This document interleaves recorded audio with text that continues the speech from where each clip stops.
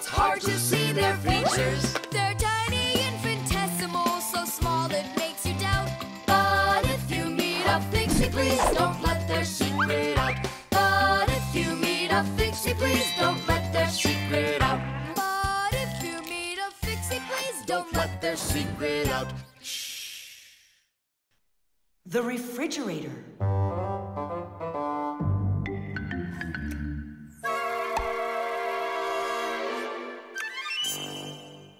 Good job. My homework is all done.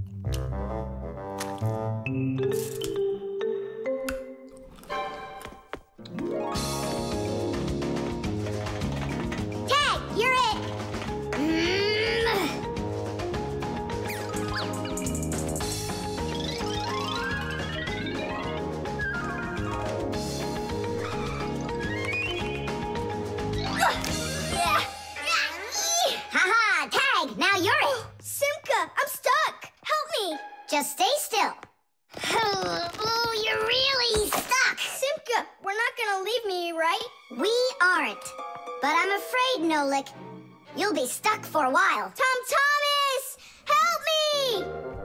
What's going on? Look, this blob of white stuff grabbed onto Nolik and it won't let go of him. Oh, it's a piece of gum. It's my bubble gum. Oh, thanks a lot, Tom Thomas. Now what's the plan to get me unstuck from here? Here's what we do. It's gotta be frozen. Once I sat on gum too, and my mom put my pants in the freezer. The gum froze up and it came right off. I don't want to go into the freezer. Don't worry, Nolik. I'll stay right here with you. Just hold on. It won't take long at all. Huh. Why do I need to hold on? The gum's already holding on to me. Simka, do you know why it's so cold in the freezer when outside it's warm? Uh, I'll explain it to you. A refrigerator has a pump that pushes a special liquid through a long tube. Inside the refrigerator, the liquid in the tube wants to turn into a gas. To do that, it takes the heat from everything inside, and that makes the refrigerator cool. Then the pump sucks in the gas and pushes it out as a hot liquid into the tubes on the back of the refrigerator. That lets all of the heat collected from the inside escape into the air outside. I wish I was somewhere warm. Hold on. I'll go get us some warm clothes to wear. I don't want to hold on. I want to go with you. Just hang in there. I'm hanging. Tom Thomas, open up!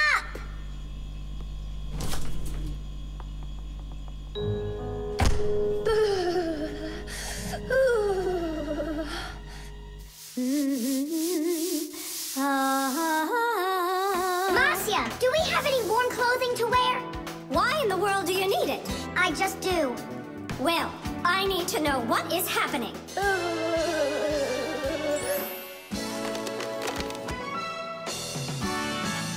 Hooray! Tom Thomas, Simka, open up the door! It looks like I'm gonna freeze up in here for good. A fixie is constantly surrounded by all sorts of danger. Inside a dark freezer, a fixie can lose his way and freeze to death. If he's not paying attention, he can drown inside of a washing machine or inside of a dishwasher.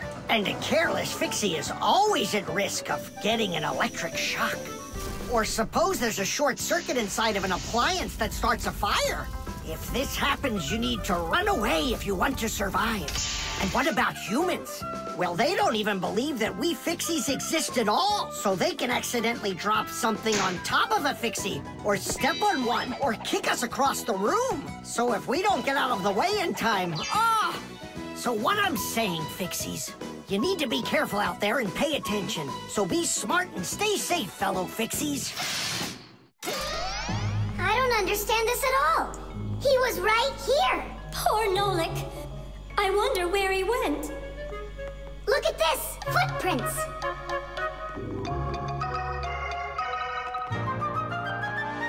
Nolik, you're alive.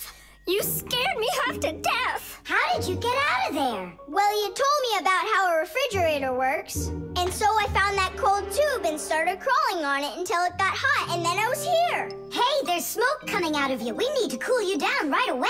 Huh? Ah! I don't want to go into the refrigerator. Stop! I was joking. Look how it froze. I could break my teeth on it. you aren't gonna chew it anymore. I'd never do that, not after Nolik sat on it. Well, you didn't need to stick it where it doesn't belong. Hey, I apologize. I'll go and throw it away. Maybe you'll try the trash can?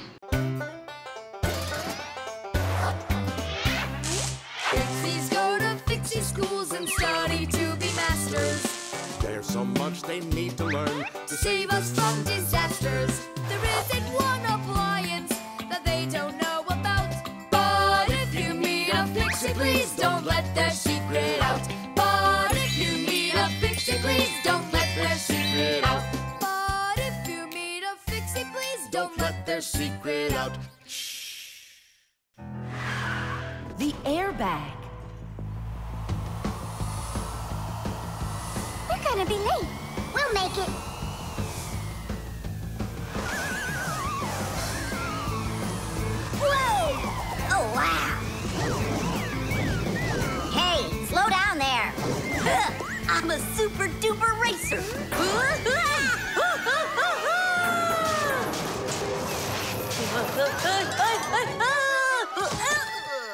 Well, well, Fire. Again risking your life. And super racers like me can always count on luck. You know, Fire, counting on good luck is stupid. It would be better if you would keep your mind on safety. Actually, today, Professor Eugenius has something really special to show us. He's going to be testing an airbag. Uh, what's that? Digit, explain it. Everybody riding in a car has to wear their seatbelt because if the car has to stop quickly, the belt will hold the person back. But there are times when even seatbelts don't give enough protection, like when a fast-moving car crashes into something. When that happens, the driver and passengers can be protected by an airbag. You can't see them when they're folded up because they're hidden. But if the car is in a crash, the airbags blow up very quickly. And the person bumps into the bag instead of banging into the steering wheel or flying through the windshield.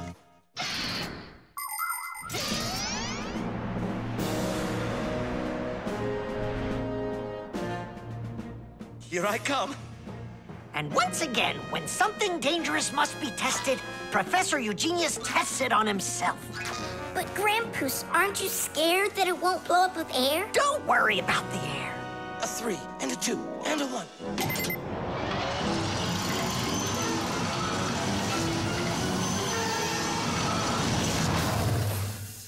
The airbag filled up in an instant. Did you notice? Yeah, but how does it do it? There is a chemical inside of there that quickly burns and instantly turns into a gas the moment the crash takes place. The gas fills the airbag, and there you go. Did I explain that right, Professor?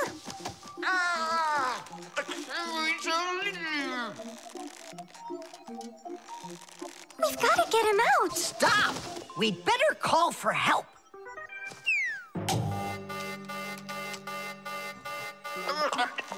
Professor, do you need some help?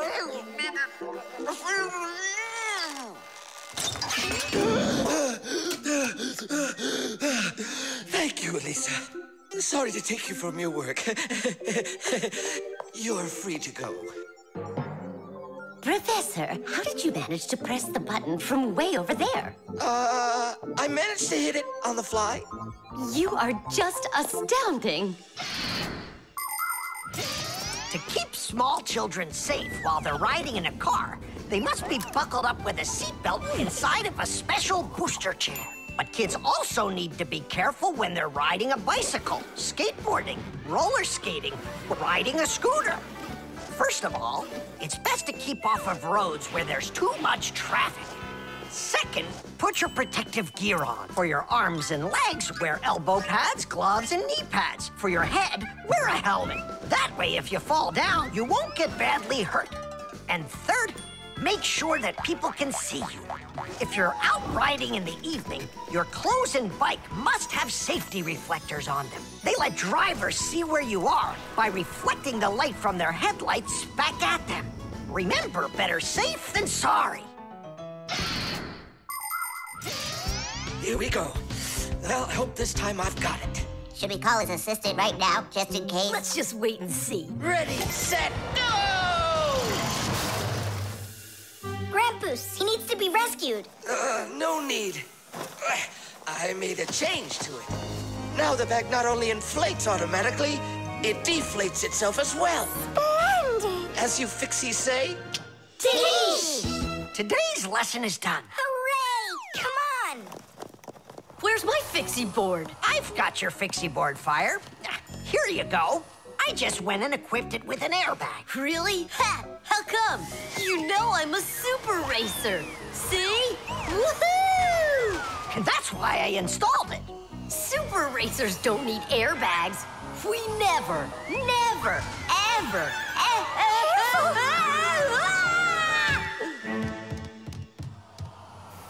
Oh, wow! Is that airbag cool or what? It's a very original design you used there.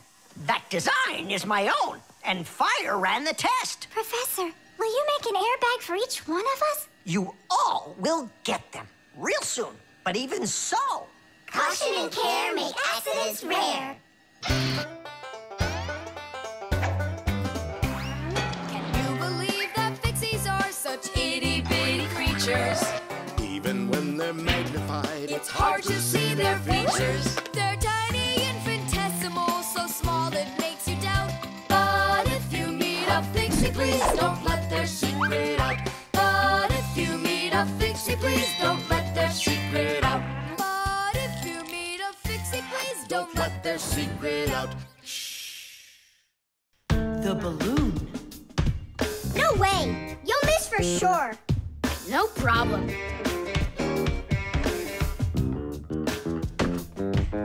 Huh. Anybody can do that. I bet you can't do it if you tried bouncing the ball off the floor first. Just look. Oh, what are my parents gonna do to me? Maybe we should call Simka. Simka! And what's Simka gonna do to us when she sees this? So, got yourself in trouble, huh? You shouldn't be playing with a ball inside. And now we have your lamp to fix. But how? Only my dad can reach all the way up there. Why just your dad? You have a hot air balloon over there. That doesn't fly. It's just a toy, see? Well, it might be just a toy to you, but for us Fixies, it's absolutely real. If an object is lighter than water, it floats up to the surface. And in the same way, if something is lighter than air, it floats upward. Did you know that hot air is lighter than cold air? Well, it is. And that means if you warm up the air in a balloon, it will float up. Hot air balloons use special gas burners to heat up the air inside of them so they will get lighter. And the bigger the balloon, the more people it can take up into the air. I know what you're saying, but where do we get a burner? You think Fixies don't have their own burners? Huh! Sure we've got them. Bring it down here, and I'll go talk to our parents. No, no, and no. The human child must never see us. Listen now, Simka. We already don't approve of him seeing you and Nolik. He won't look. Papus, please. You're the one who told us how you dreamed of flying since you trained to go into space. Yeah. For two years I waited on standby, but I never went up. And you've never flown in a hot air balloon either, honey. So let's call it a deal. Talked into it. There's just one condition. You can't watch. Okay. You can come in now.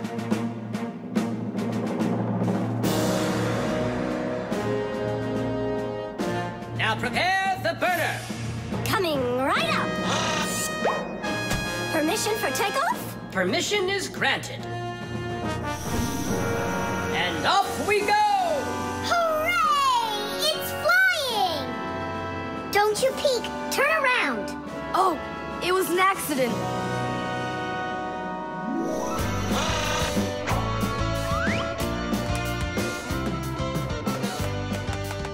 I'm going to evaluate the damage. Maintaining proper altitude.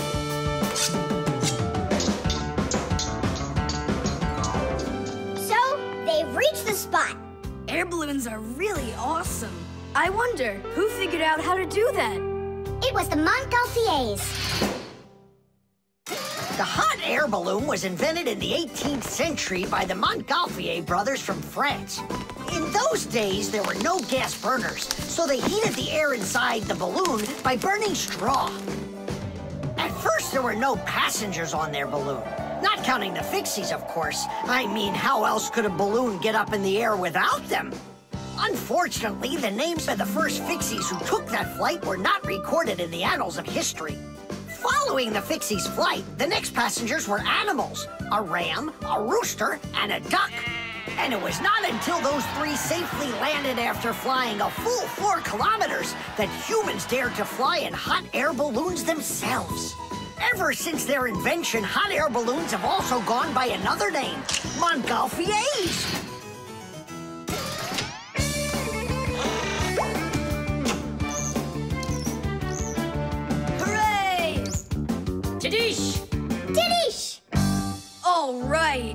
Simka, please let your parents know that I'm so very thankful. Okay, by the way, now you can turn around. You know, Simka, let's fly the balloon just like them. There's no way, Nolik, we would need to use the burner, and kids aren't allowed to play with fire. I'll give you a ride. Look, I still need to put it back up on the shelf, so climb in and let's do it.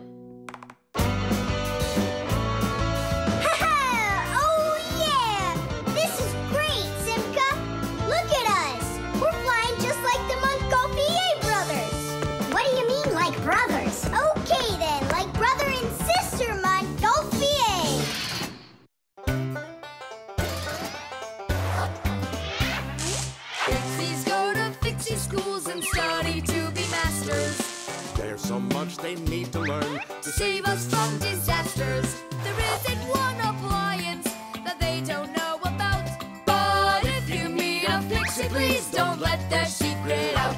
But if you meet a fixie, please don't let their secret out. But if you meet a fixie, please don't let their secret out.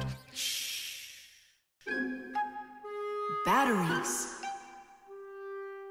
Oh, my little lemon, just you wait. One day you'll be a strong and splendid tree. She's talking with a flower pot. You scared me. Do you like it? Like what?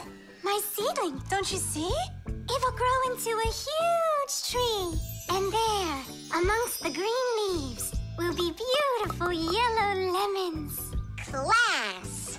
From that thing? Lemons? oh, yeah. It'll grow into a tree. All it needs for that is to gather energy. Get energy from where? From our sun. the sun? It'll be so slow. Oh, batteries would be faster than the sun. Batteries? I really don't think so. Toola, do you know how much energy they have? Let's just bury a bunch of those batteries in here, and you'll be watching your lemon plant shoot up into a tree. Are you positive?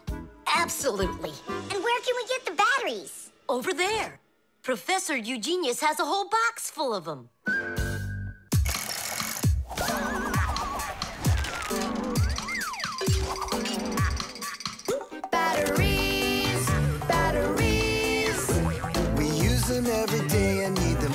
Ton. batteries, batteries, They give power to appliances so they can run. batteries, batteries, batteries, batteries, batteries, That does it. We'll be seeing the first lemons before the week's over. The first battery in the world was made in Italy more than 200 years ago. When two different kinds of metal were placed in salty water, electricity started flowing through a wire from one piece of metal to the other. Many years have since then, but batteries still work in pretty much the same way. Today, you can find batteries being used for electricity just about everywhere. Tiny batteries are used inside of wristwatches, while big batteries can power cars and even ships. With new batteries being produced by the millions, we have to think, how should we get rid of the old ones? You can't just throw away batteries because they'll poison our soil and water. The best way to dispose of batteries is to take them to a special collection station that sends them to factories for recycling. Yes, yes. It's a terrible idea to bury batteries. You can kill any plants that are growing there. and this is the very reason why Professor Eugenius puts all of his used batteries in that box over there, so he can dispose of them properly. Hey, where are they? Oh, my seedling! We harmed you! What? Where are the batteries? They're in the flower pot. How come? So the lemons would grow faster. From the batteries?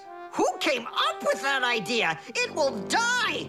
Hurry! We gotta go save it! The soil's contaminated. We've got to find a new home for the seedling. Over there. There's a pot with healthy soil. Let's do it.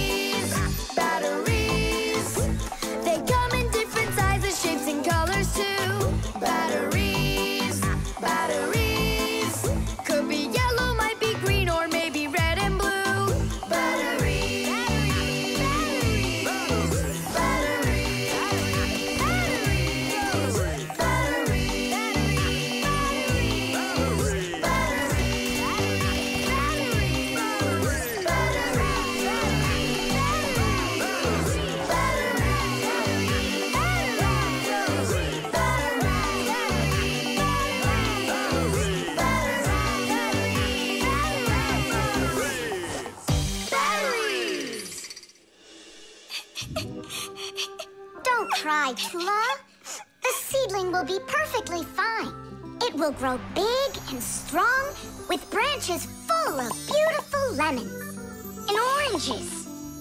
And watermelons. It's a lemon tree fire.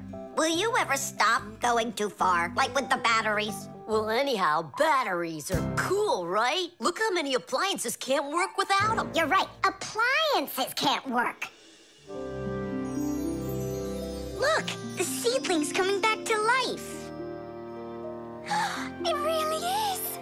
Toola, tell us, isn't it splendid? Splendid.